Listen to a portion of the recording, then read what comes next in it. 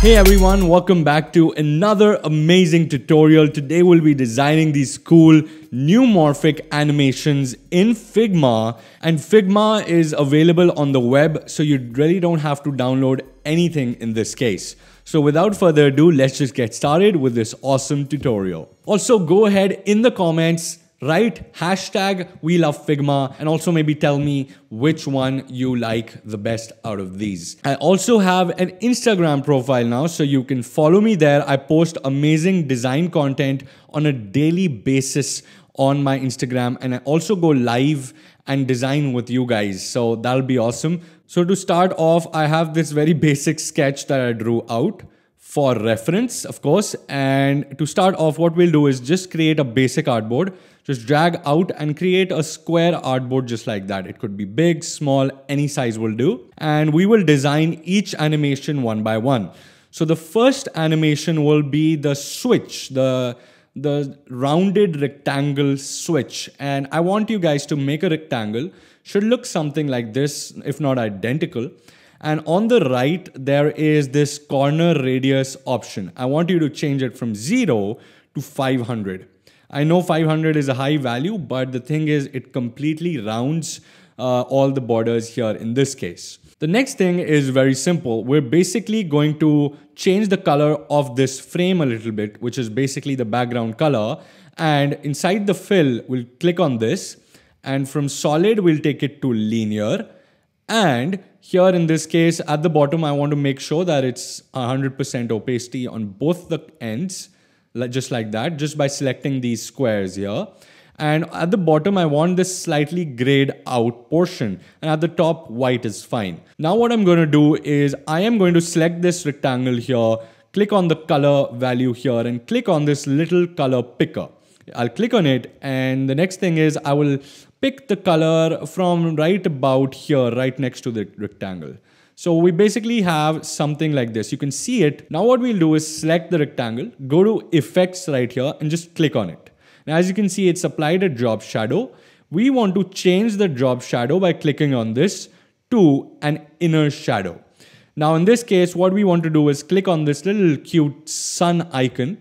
And for the blur value, I want something like 24. For the X, I want something like 12 and Y as well should be somewhat 12. So see how it's adding depth.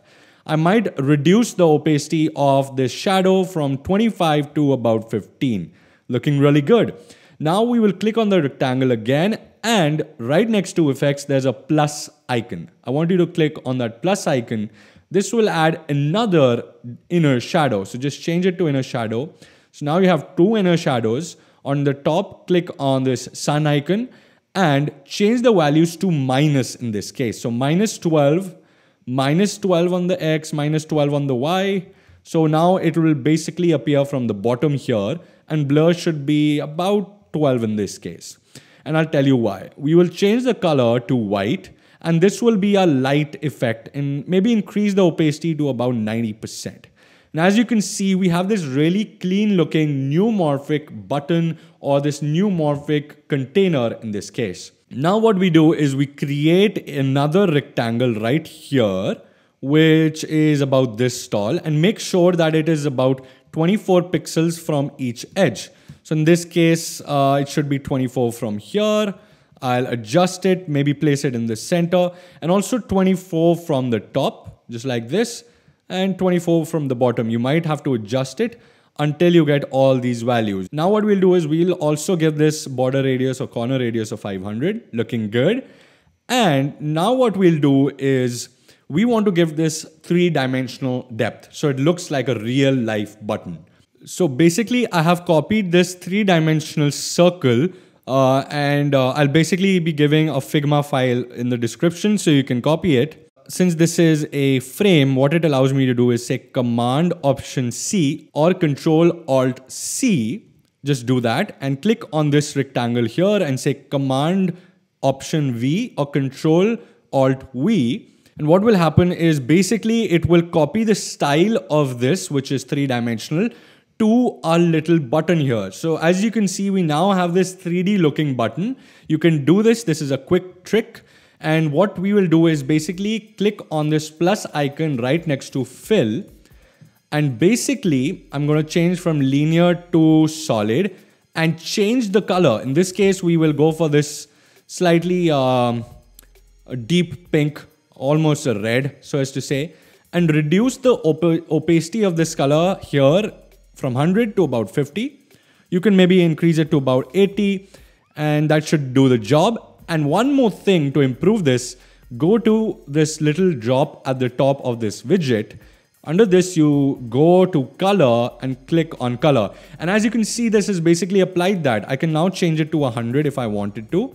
So 100%. And as you can see, this is a bright, uh, almost a deep pink, almost red color here. And what I'm going to do is for the shadows around here, I'm going to create a circle. Oops, that's a rectangle. I'm going to create a circle by clicking on O and then just dragging out. And what I'm going to do is give it the same uh, reddish pink or whatever it is. And under effect, I'll click on effect again. Under drop shadow, there's an option called layer blur. I want to change this from 4 to 42. You know what? 42 is too little, maybe 100, still too little, like 500. Oh, that, that is better. What I'll do is reduce the opacity uh, of this element by a lot, maybe make it 15%. Uh, and you know what? You can make this circle much smaller if you want so that it only goes in a certain direction and increase the opacity of this again. So that'll be that'll be much better. Yeah, for sure, for sure this is better. Uh, now the moving will be very simple. I'll just duplicate this frame by clicking on the frame and selecting Command D or Control D and dragging out the circle as well as this rectangle over to the next segment. It's as simple. Uh, that is how we use Smart Animate. And I'll just click on this rectangle. On the top right, you'll have this option called Prototype. Click on Prototype, change and drag this little circle right next to the rectangle to the second box or the second frame. Under this, I want you to change the settings a little bit. Navigate to perfect, frame 7 perfect. Under animation, change it from instant to smart animate.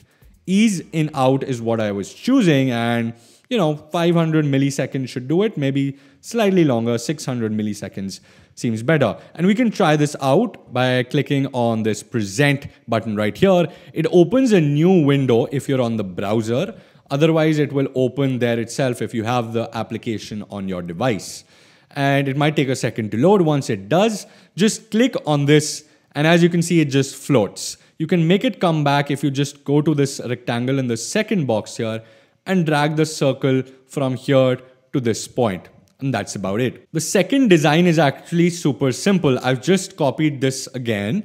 And in this case, what I'm going to do is click on this rectangle and press enter after clicking on this rectangle. And as you can see, now we have these anchor points on the edges and in the middle as well. So I'll just click on this anchor point and drag it down and basically just drag this anchor point down just like this. And same for the bottom anchor point, hold it and press shift to shift it down evenly and maybe shift it down like this. And as you can see, we already have like a really good curve here. You can increase or decrease the width or increase the height to basically, basically make it look like a smile. And you can basically do that by holding shift selecting both the anchor points and just saying shift and bottom arrow. What that will do is just move it down a little bit, just like this. This looks really good. It looks like a legit smile now. Select the rectangle here and reduce the width to about the same width as the height is. So 112, I'll change it to 105 and now it's almost a perfect circle.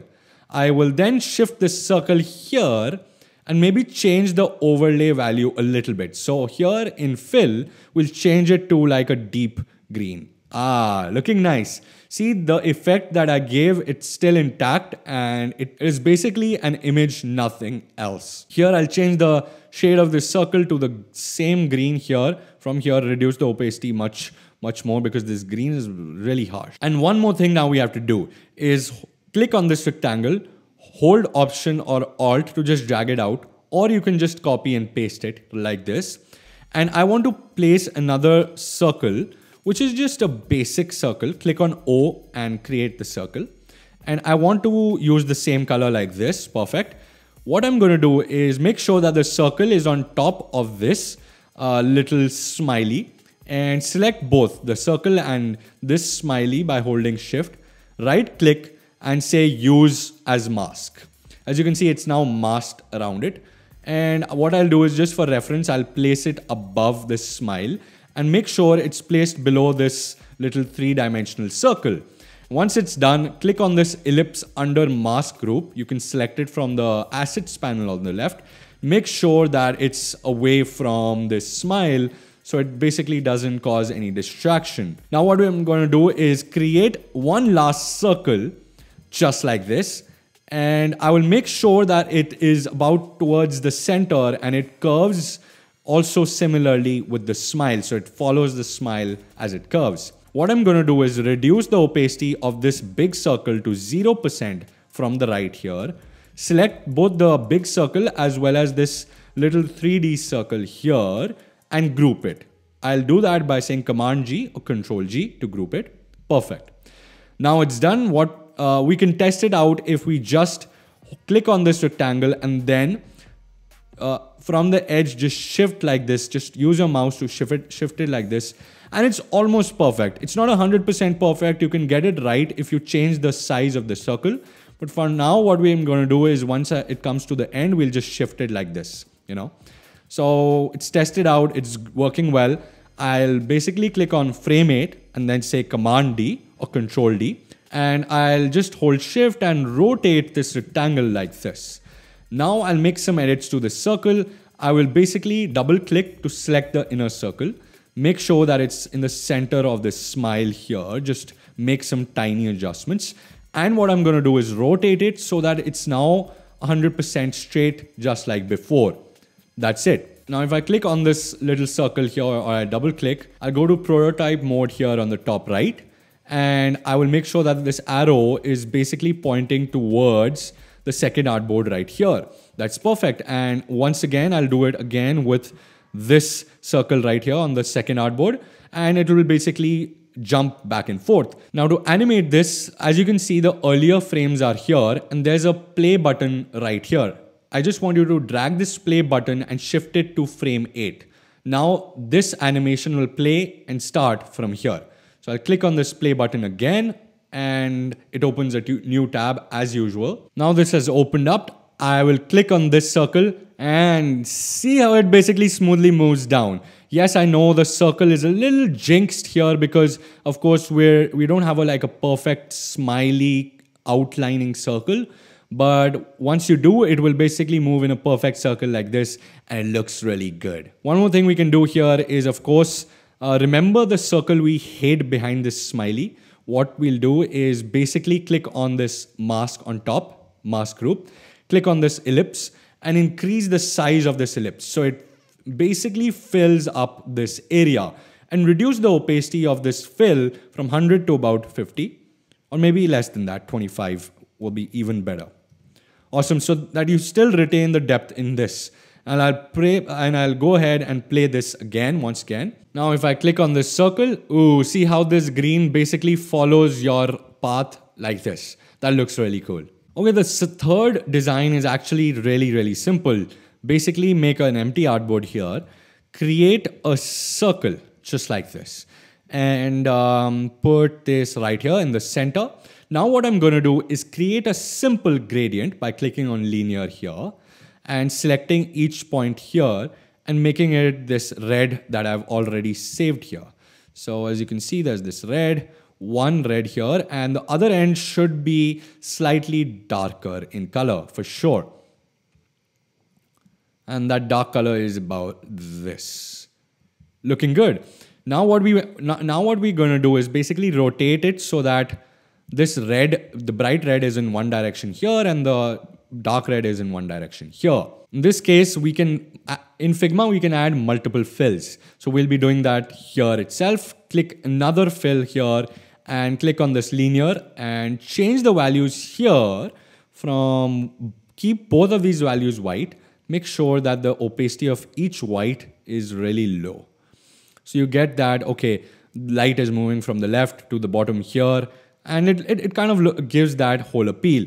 You can also make that look even better if you just drag the second uh, circle here close to the first circle. So it legit just looks like the circle is getting light from this side. And for the shadows, click on effect again. And here under drop shadow, just click on the sun and here give these certain values. Y should be 12, X should be 12 as well, and blur should be 24. And as you can see, this dark shadow has been given here. If I click on this circle again and add another effect by clicking on the plus sign, you get another drop shadow. I want to basically make this minus values, so minus 12, minus 12, and blur should be 8.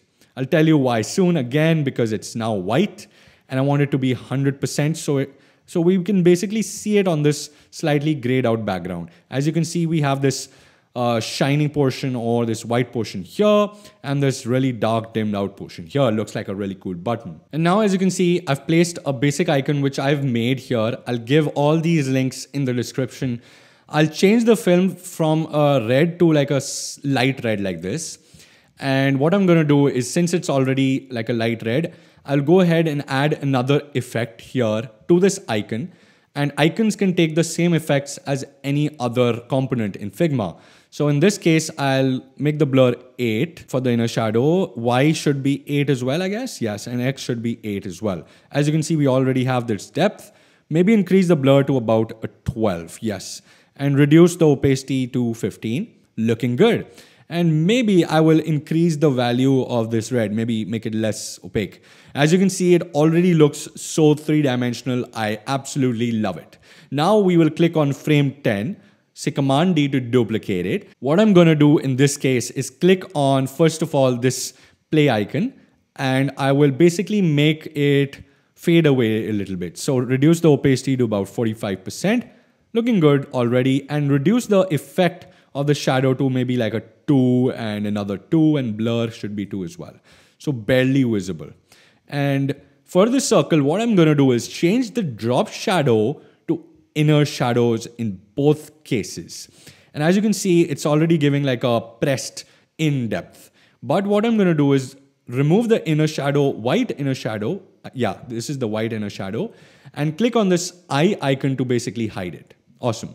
Increase the dark inner shadow to from blur should be about 80 I guess yeah much better uh, y in x value should be 24 and 24 because it's now like giving more inner depth and that is it what it should be increase the opacity to 45 and as you can see now it seems as if it's been really pressed so what I'm gonna do is click on this circle in the first artboard click on prototype as usual drag this little circle to the second artboard and do the same with the second artboard as well. And you know what to do now. Click on this little play icon on the previous artboards and drag it here to frame 10 so it can seamlessly move between frame 10 and frame 11. So click on frame 10, click on this play icon right here, which is basically present, and it should open up. As you can see, once this opens up, if I click on this little icon here, ooh, oh, this is so smooth, guys. This looks so, so good. You know, this is my favorite out of these. Tell me in the comments which one is your favorite out of these. Thank you guys for watching. I will see you every Monday and Thursday. Go ahead and subscribe to my channel and also hit that bell icon so that you get notified about my videos. And I will see you next time. God bless.